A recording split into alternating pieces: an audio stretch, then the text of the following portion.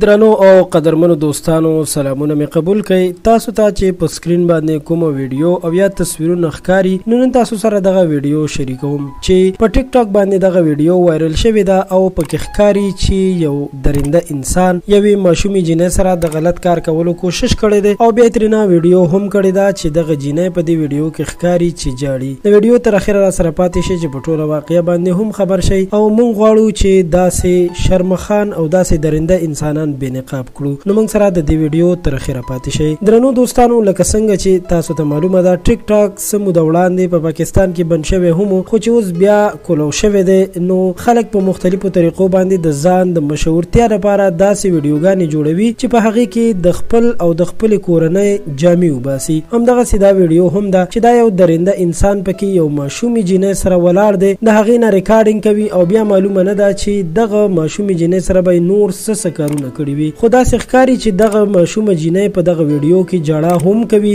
اګر که دغه جینۍ به ډېره ماشومه هم نه وي، خو داسې ښکاري چې ایله پېغله شوې ده او د دې ظالم انسان په خبرو کې راغلې، ده سره راغلې ده او دا ترېنه بیا ویډیو کوي چې دغه ویډیو بیا دې کس د خپل ځان د مشهورتیا لپاره په سوشل میډیا او یا په ټیک ټاک باندې اپلوډ کړې هم ده چې اوس ډېره زیاته خوره شوې ده او هر سړی یې ګوري. یقیناً چې دا ډېره د شرم خبره ده او د دې کورنۍ په زړه باندې به څه تېرېږي دا یو الله ته معلومه ده. مهمه ده. کوم انسان چې د بل چا عزت خاورو سره خاورې کوي، نو یقیناً چې د هغه عزت به هم دغسې خاورې شي او هغه به هم په شرمونو وشرمیږي. موږ بیا هم وایو چې خپل اولاد او خپل بچي د ټیک ټاک د فتنې نه وساتئ، ځکه چې دا یو داسې فتنه ده چې د هر چا عزتونه یې لوټ کړل. تاسو زما پیغام ته په کوم نظر ګورئ؟ خپل نظر راسره ضرور په کمنټ کې شریک کړئ او زموږ چینل خان کلیک هم سبسکرایب کړئ چې زموږ راتلونکې ویډیوګانې تاسو ته په وخت درورسي تر بیا مو په لوی الله سپارم.